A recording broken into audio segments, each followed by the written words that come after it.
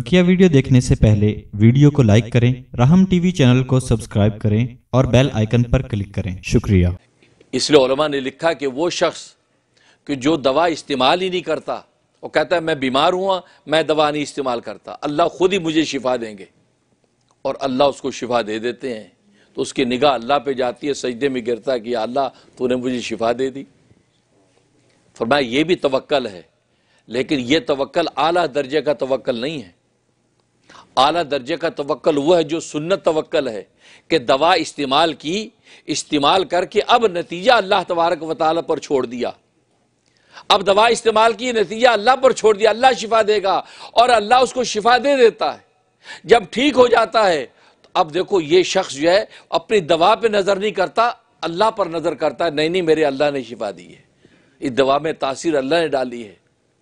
تو یہ دوسرے درجے کا جو توکل، یہ اعلیٰ توکل ہے۔ اور یہ اعلیٰ توکل اس لیے ہے کہ پہلے والے توکل میں امتحان نہیں ہے۔ کہ جب اسے دوائی نہیں کھائی اور شفا ہو گئی تو اس کی نگاہ تو اللہ پہ ہی جائے گی نا۔ یار اللہ نے دی تو یہ اس کو کسی ٹیسٹ میں نہیں پڑا، اس کا کوئی ٹرائل نہیں ہوا۔ لیکن دوسرا آدمی جس نے دوا کھائی اور دوا کھا کے نتیجہ اور شفا اللہ کی طرف منسوب کر دی، اس کو جب شفا ہوئی، اب یہ امتحان میں آ گیا۔ یہ یہ بھی کہہ سکتا ہے، دوا نے مجھے شفا دی۔ یہ بھی کہہ سکتا اللہ نے مجھے شفا دی۔ اس امتحان میں جب آیا لیکن اس کا ایمان اتنا مضبوط اور کامل تھا۔ اس نے اپنی دوا کو نہیں دیکھا، بلکہ شفا دینے والی ذات کو دیکھ کر کہا کہ میرے خدا نے مجھے شفا دی۔ اللہ اکبر۔ فرمایا کہ یہ آدمی، یہ توکل اعلیٰ درجے کا ہے۔ یہ وہ سنت توکل ہے کہ جس کے بارے میں خود سرکار دو عالم صلی اللہ علیہ وسلم نے بھی ہدایت فرمائی۔ چاچے ایک مجلس میں آپ بیٹھے، ایک شخص آیا۔ آپ سلام کیا آپ نے کہا تیری سواری کہاں ہے؟ کہا جی بس باہر چھوڑ دی میں نے۔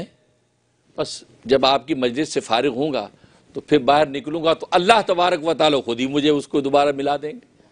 تو میں کہ نہیں، یہ توکل نہیں ہے۔ توکل یہ کہ اس کو کھونٹے کے ساتھ باندھ۔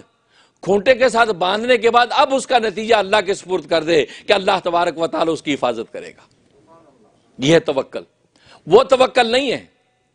اگرچہ یہ جب باہر جائے اور وہ سواری جنگل میں خود اس کے پاس آ جائے، تو اس کی نگاہ تو اللہ پہ جائے گی۔ یار اللہ نے دیکھو واپس بھیج دی۔ لیکن دوسرے درجے کا جو توکل، یہ اعلیٰ درجے کا توکل ہے، کیونکہ وہاں امتحان ہے کہ جب جائے گا جائے گا، اب کھونٹے کے ساتھ باندھی بھی سواری اس کو مل جائے گی، تو وہ سوچے گا ہاں میں نے کھونٹے کے ساتھ باندھی تھی، تبھی یہاں موجود ہے۔ اور یہ بھی ہو سکتا کہ ہاں اللہ تبارک و تعالیٰ اپنی لطف کرم سے حفاظت کی اور یہ سواری مجھے مل گئی۔ اب یہ جب امتحان میں آ کے مومن کہتا ہے، نہیں نہیں، میرے کھونٹے کی کیا حقیقت ہے؟ میرے باندھنے کی کیا حقیقت ہے؟ یہ تو رب کریم کی رحمت و لطف ہے کہ یہ سواری مجھے سلامت مل گئی ہے، یہ اللہ کی لطف و عنایت کے ساتھ ملی ہے۔ جب یہ بات کہتا ہے تو اللہ تبارک و تعالیٰ کی قرب کی منزلیں طے کر جاتا ہے۔ اللہ اس کو اپنے قریب کرنا شروع کر دیتا ہے۔